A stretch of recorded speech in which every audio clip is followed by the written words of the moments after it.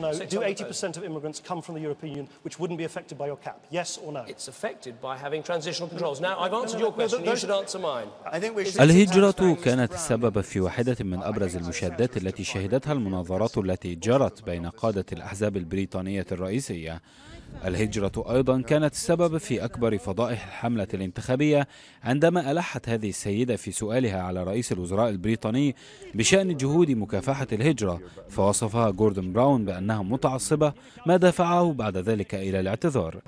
ولعل الهجرة هي هاجس رئيسي يؤرق كثيرا من البريطانيين الذين يرون أن المهاجرين شرعيين كانوا أو غير شرعيين يمثلون عبئا عليهم.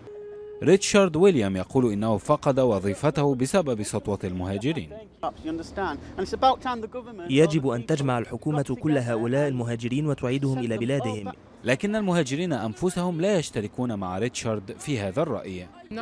على الحكومة أن تستوعب المهاجرين غير شرعيين. عليها أن توفر لهم الوظائف فالمهاجرون يرغبون في العمل أما البريطانيون فيرغبون في الحصول على المال دون عمل. ولكن فيما تختلف رؤى الأحزاب السياسية في التعامل مع المهاجرين.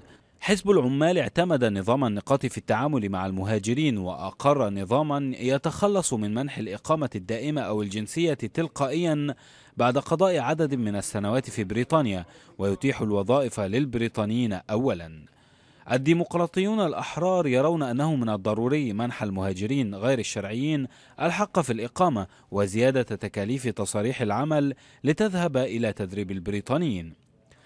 المحافظون يرغبون في تخفيض عدد المهاجرين إلى الأرقام السائدة في التسعينات وفي وضع قيود على الهجرة من الدول المنضمة حديثا إلى الاتحاد الأوروبي. لعل الأحزاب كلها تتفق على ضرورة كبح الهجرة لكنها تختلف فقط على الطريقة. البعض يرى أن كل هذه السياسات قد لا تثر في كبح الوافدين فما يزيد عن 80% من هذه الهجرة حاليا ترد من دول الاتحاد الأوروبي وهو أمر لا يمكن وقفه. المتنافسون على مقعد رئاسة الوزراء هنا في بريطانيا قد لا يعنيهم كثيرا ما إذا كانت آراؤهم حول الهجرة تروق للمهاجرين أم لا فربما لا تحسم أصوات هؤلاء. السباق الانتخابي الأمر الأكثر أهمية هو أن تجد آراؤهم قبولا لدى غالبية الناخبين البريطانيين الذين تشير استطلاعات الرأي أنهم أصبحوا يضيقون ذرعا بكل وافد. من منطقة ليويشم في جنوب لندن محمد طه بي بي سي.